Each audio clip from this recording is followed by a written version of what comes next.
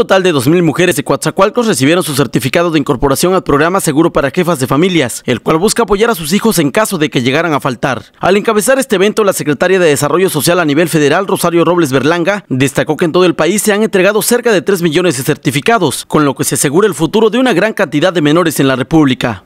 Porque este es un fideicomiso en el que todas ustedes están aseguradas y ese fideicomiso es el que garantiza que en caso de que no estemos alguna de nosotras, nuestros hijos estén protegidos. Tengan la tranquilidad, tengan la seguridad, lo hemos visto el día de hoy.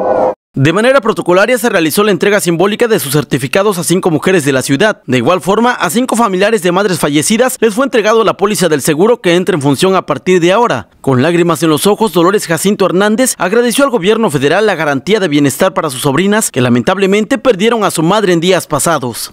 Porque yo sé que con eso ellas van a seguir estudiando, salir adelante y ser las niñas que mi hermana quería.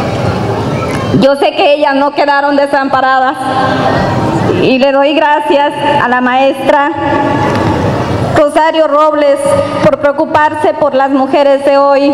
Al hacer uso de la palabra, el gobernador Javier Duarte de Ochoa manifestó que los tres órdenes de gobierno trabajarán de la mano por un mejor bienestar de las mujeres y toda la sociedad veracruzana.